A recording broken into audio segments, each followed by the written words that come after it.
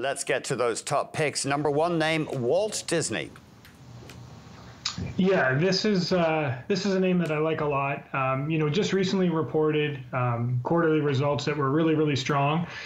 And what you're seeing within this business is, you know, that their parks business is performing exceptionally well. You know, attendance is up, per capita spending is up, and it's just doing unbelievable and then their direct to consumer business you know with the disney plus um, you know subscriber growth has been great but operating operating profits have been weak. And i think on the eh, during their most recent corner mm-hmm. you really saw that this is a business that's going to turn the corner um, you know sometime in the next year in 2024 so i think you know if you look at disney and the potential upside in the shares you know it's pretty attractive investment in this environment and lots of value. Okay um, yeah, interesting there. Um, it's trading very much on the streaming war. So, are, are, you not concerned though that it's as more and more companies break into this? For example, Walmart str- struck a deal with Paramount this week in the United States. It's just going to be such a crowded space streaming.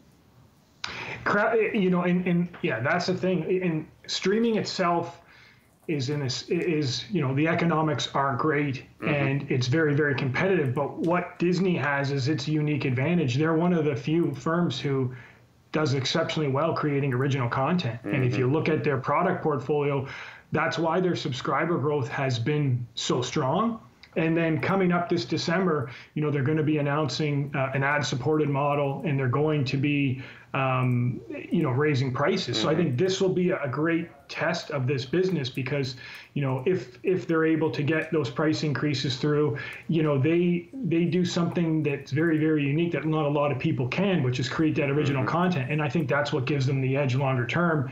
They just had to figure out a point when they were going to con- uh, transition to direct to consumer, and they they took their time, but they did it fairly quickly once they once they decided.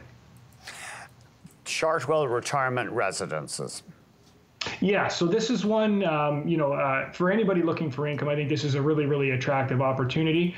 You know, um, you know what Chartwell does is it does private pay kind of retirement living uh, for seniors, and if you look at kind of the occupancy that that they got hit during the pandemic, occupancy was down because people couldn't move in. And if you look at you know some some really good potential catalysts to drive the share price higher, um, you know occupancy right now is around 75%. You know it's been trickling up month, month after month. Um, so I think you've got some really good upside on occupancy, and you've also got got some good upside on their um, uh, development pipeline. So in terms of new residences coming online, so I think those two things should help to drive FFO growth, which would be uh, pretty uh, pretty strong for the shares. And then if you if you think of it, you know that you're getting paid almost six percent to wait, you know it, it, it's it's an income stock, yes, but it, but it has a reasonable growth profile. So I think you know for people looking for um, you know a little bit of income and a little bit of growth, Chartwell is a, a pretty attractive opportunity. And your final idea, KKR, the private equity giant.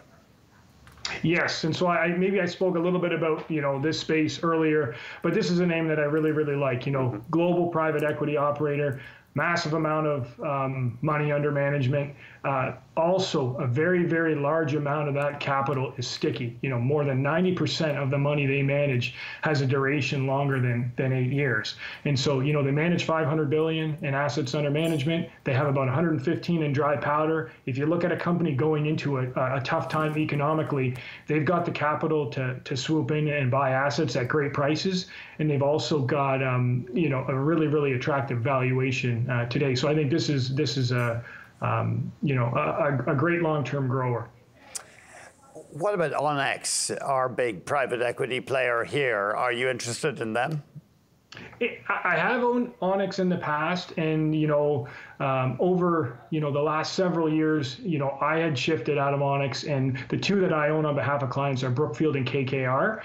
Um, Brookfield has a very, very big bent, you know, towards real estate and things that look like real estate, where KKR has, um, you know, a big presence in China and a big focus on um, buyouts. So I think, you know, they're a slightly different mix, but what you get in both of them is that um, principal investing. You know, they invest their shareholder capital in those deals as well to kind of enhance returns. Mm-hmm. And that's where I why I went to those ones versus um, you know say something like a Blackstone or something like an Onex that has a little bit more of a niche focus. Let's leave it there. Thank you very much indeed, Chris. Thanks for having me.